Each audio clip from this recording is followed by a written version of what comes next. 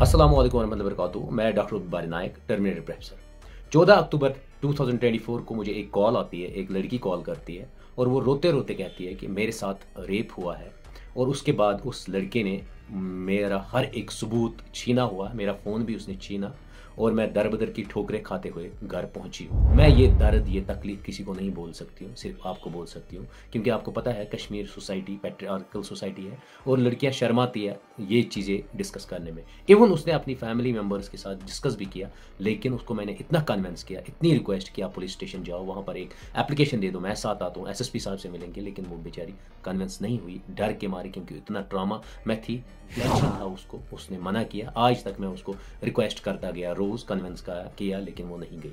उसके बाद वो लड़की सीधे कहती है, उस लड़की ने मेरा फ़ोन भी छीना, कोई सबूत नहीं वो, उस लड़की ने लेकिन चंद जगहों पे कहा कि मैं कहाँ कहाँ गई। उन छोटे छोटे जगहों पे जो, जहाँ पर वो गई, उनके बेस पे मैंने कलेक्ट इन्फॉर्मेशन की। चौदह तारीख से आज आज तक मैं 21 तक कलेक्ट करता गया। इसमें मैंने इवन एसएसपी बारामूला को भी लिखा हुआ है इवन आईजी कश्मीर को भी मैंने लिखा है। रिप्रेजेंटेशन दी है कि ये लड़का कल्प्रिट है, इसने एक लड़की के साथ गलत किया है, उसमें पूरी कहानी मैंने लिख के दे दी है उसको रिटर्न एप्लीकेशन में ईमेल के ज़रिए। मैं रिक्वेस्ट करता हूँ हर एक पेरेंट से जम्मू एंड कश्मीर में कि अपने बच्चों को ध्यान रखा करो कि कहीं ये किसी ट्रैप में तो नहीं फंस रही है, क्योंकि लड़के इनको फिजिकली इनको एक्सप्लाइट करते हैं इकोनॉमिकली इनको एक्सप्लाइट करते हैं, और कहीं कहीं इनको साइकोलॉजिकली ट्रॉमा में डाल देते हैं लड़के जो दरिंदे होते हैं। और दरिंदगी दिन ब दिन बढ़ती जा रही है, इसलिए मेन सिर्फ़ ये डॉक्टर बारी नहीं है जो कंट्रोल करेगा। हर एक पेरेंट की रेस्पॉन्सिबिलिटी है, हर एक सिटीजन की रेस्पॉन्सिबिलिटी ये सिर्फ़ पुलिस और एडमिनिस्ट्रेशन का काम नहीं है हमें हर एक बंदे को इनिशिएटिव लेना पड़ेगा, तभी कंट्रोल होगा। जब हमने चंद एविडेंस कलेक्ट किए तो मुझे आ गया एक इमू ब्रो, जिसके उधर लिखा हुआ है, Mir Tauseef F B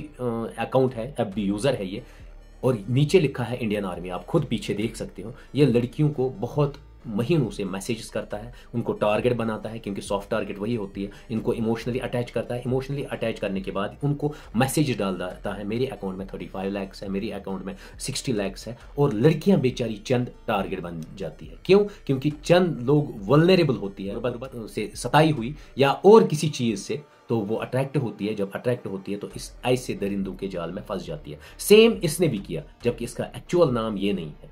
उसके बाद क्या होता है? एक एफ़ बी फीमेल यूज़र होती है उसको टारगेट करता है उसको जब अपने जाल में फंसाता है दो तीन महीने उससे बात करता है उसको प्यार में फंसा देता है फिर उसको मिलने के लिए बुलाता है। मिलने के बाद उसको ज़ोर ज़बरदस्ती करके जम्मू पहुँच जाता है। जब जम्मू पहुँच जाए जो बंदा है ये 6 अक्टूबर 2024 को किस नाम से? सईद अब्बास हुसैन लेट नज, सैयद नज़ीर हुसैन जो रहने वाला है जम्बूरा का पट्टन मोहरा का बारामूला का वो होटल बुक करता है संपर्क जम्मू में, और इस संपर्क होटल में ये आठ तारीख को इसी इनोसेंट लड़की को पहुँचा देता है। प्लानिंग पहले से ही होती है। उसको वहाँ पहुंचाता है, उसको तीन दिन वहाँ रखता है, ग्यारह तारीख तक उसके साथ गलत करता रहता है, और उसको धमकाता है थ्रेट देता है, और वो भी मतलब एक थ्रेट और क्यास के ज़रिए वो उसका हर एक चीज़ मानती है। फिर वो ग्यारह तारीख को उसको उठाता है और लेके आता है बारामुल्ला। बारामुल्ला वो बुक करता है होटल समरकंड। समरकंड होटल में इसको रखता है। फिर मैंने वहाँ से सीसीटीवी फुटेज भी निकाली है, समरकंड होटल में रखता है, उसके साथ गलत करता है, फिर उसको बारह तारीख को श्रीनगर पहुँचता है, श्रीनगर में उसको ड्रॉप करता है, उसका मोबाइल छीन लेता है, जितने भी एविडेंसेस है, वो लेके चला जाता है और उसको सिकिप करता है, वहीं से छोड़ देता है, वहीं पर वो बेजारी दर्द दर्द की ठोकरे खा के फिर घर पहुँचती है। लेकिन एक गलती करता है बंदा। 12 तारीख को ये इनके घर वालों को फ़ोन करता है, कहता है कि मैं दिल्ली में हूँ, मैं एक कम्यूटर हूँ मैं यहाँ से चलने वाला, मैं असल में कश्मीर से ही हूँ, मुझे आप लोगों की ये लड़की मिली, इसको किसी ने उठा के ले आया यहाँ दिल्ली, अब आप चार हज़ार रुपया डाल दीजिए, मैं बाई एयर टिकट बना के इसको वहाँ भेजूँगा। और इसके फैमिली मेंबर्स उस होटल सम, समरकंड जो बारामूला का है उसके अकाउंट में चार हज़ार डालते हैं। वहाँ पर ये नौ सौ रुपया पे करता है एक नाइट का और इकतीस सौ रुपया वापस दिए जाते हैं इस बंदे को किसको? सईद अब्बास को। 12 अक्टूबर को लड़की घर पहुँचती है, वो फैमिली मेंबर से ये डिस्कस करती है, लेकिन कोई उसको सपोर्ट नहीं करता है, ना घर वाले, क्योंकि सोशल स्टैगमा की वजह से नहीं करता है कोई सपोर्ट फिर ये बेचारी मुझे कॉल करती है चौदह तारीख को। मैं इसको बैक करता हूँ रिक्वेस्ट करता हूँ पुलिस डिपार्टमेंट के पास जाओ पुलिस में एक एप्लीकेशन दे दो। वुमेन पुलिस स्टेशन है वहाँ, लेकिन वो नहीं डालती है कोई भी एप्लीकेशन क्योंकि डर होता है। और उसके बाद हम लोगों का इन्वेस्टिगेशन शुरू होता है। इन्वेस्टिगेशन में हमें पता चलता है कि जब हम देखते हैं सबसे पहले, phone number eight zero eight two eight two nine zero four one, ये इसी सईद अब्बास का फ़ोन नंबर है। जब हम इसको निकालते हैं तो ये सीधे डीपी अगर आप पीछे देखेंगे, आर्मी वाले की डीपी है और दिखाता है। उसके बाद जब हम फेसबुक अकाउंट निकालते हैं इसका तो उसमें भी आर्मी की लगी हुई है इमेज और इवन कहता है कि मैं आर्मी में हूँ। और फिर हमें इससे ये पता चलता है कि ये लड़की झूठ नहीं बोल रही थी, ये सच बोल रही थी। फिर उसके बाद मेरा एक टीम मेंबर है, वो इसको कॉल करता है, सईद अब्बास को। जब सईद अब्बास को कॉल करता है तो वो सीधे शेयर करता है स्क्रीन शेयर उसमें वो फेक आईडी कार्ड दिखाता है इसको। फेक आईडी कार्ड पे लिखा होता है, आप खुद देख सकते हैं, मेजर मीर तौसीफ, और दूसरा fake ID card Aadhaar card उसमें भी मीर तौसीफ। तब वहाँ जब दिखाते हैं, वहाँ पेरेंटेज नहीं होती है तो हमें शक होता है कि ये इसने क्या एडिट किया हुआ है। दोनों कार्ड्स एडिट किए हैं, ये इसके अपने कार्ड्स नहीं है। फिर हम डायरेक्टली होटल समरकंड बारामूला जाते हैं, वहाँ से सीसी फुटेज निकालते हैं। सीसी फुटेज के ज़रिए हम देखते हैं, ये दोनों यहाँ ठहरे हुए हैं। हमें ये ये प्रूव होता है कि हाँ वो लड़की ने गलत नहीं कहा। क्यों?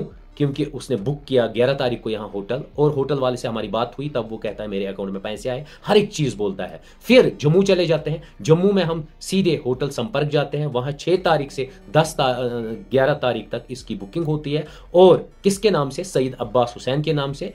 फिर वहाँ से हमें यह पता चलता है, इसका जो रूम नंबर है 302 वहाँ से इसका आधार कार्ड पता चलता है। आधार कार्ड के ज़रिए हम इसके घर तक पहुँच जाते हैं और इसने उस होटल वाले को भी जम्मू में लूटा। उसके बाद सत्रह सत्रह अक्टूबर को मैं एक मेल करता हूँ एसएसपी बारामुल्ला आईजी के एम आर के नाम even P A D PADC Baramulla के नाम में मेल कर देता हूँ और पूरी कहानी लिख लेता हूँ। एक लड़की के साथ ये हुआ और इस लड़के का एड्रेस और हर एक चीज़ डिटेल्स में लिख देता हूँ क्योंकि ये सैद अब्बास जो रहता है, लेट नज़ीर हुसैन का ये बेटा हुआ जम्बूरा में रहता है बारामूला उप अपर बेल्ट में। फिर इसके बारे में हर एक चीज़ मैं कलेक्ट करता हूँ, हर एक इंफॉर्मेशन आप इसका एड्रेस भी देख सकते हैं, इसका फोटोग्राफ्स भी चंद है साथ। उसके बाद मेरी रिक्वेस्ट है पुलिस डिपार्टमेंट के ऑफिशियल से। I am not any authority मैं कोई अथॉरिटी नहीं था इन्वेस्टिगेट करने के लिए। लेकिन कोई भी कश्मीर का बंदा सामने नहीं आता इस लड़की को इंसाफ दिलाने के लिए। मैं निकला, मैंने पूरा इन्वेस्टिगेट किया।